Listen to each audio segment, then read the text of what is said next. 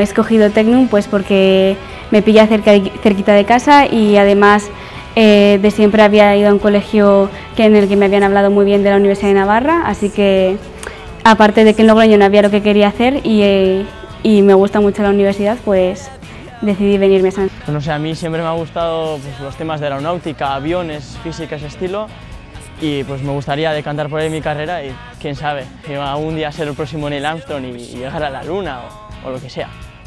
Pues reforzar nuestro nivel de matemáticas para recordar lo que hemos dado en segundo bachiller y saber nuestro nivel, el nivel que tenemos. ¿Y qué, qué vas a hacer? Uf, yo espero, espero aprobar.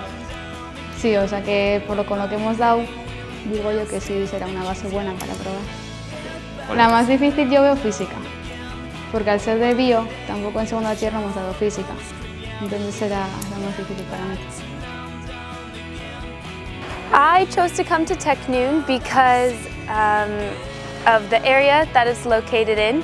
My school has a, an exchange program already set up with Tecnun and when I was looking for schools to, that I could study abroad in that were in Spain, uh, Tecnun's name came up as a possibility and I looked into it a little bit more and learned some more about the Basque culture and the food here because they're so well known for their fantastic food and so I chose to come here so I could practice my Spanish some more and get to meet other students from all over the world that were studying engineering here.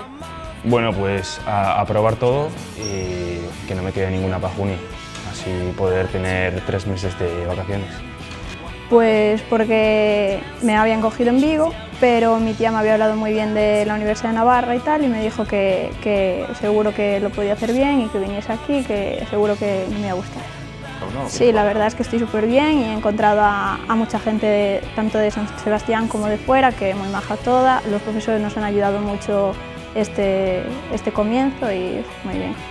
y la verdad es que es muy bonita, sobre todo la concha por la noche, me ha gustado mucho y el ambiente que hay por, por las calles.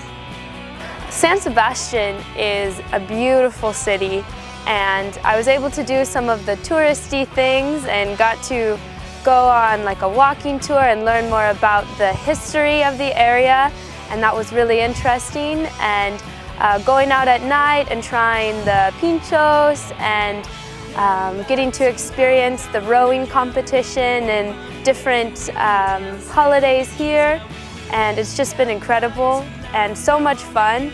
The city's really alive and the people are so nice and helpful and um, I'm looking forward to getting to know the city more.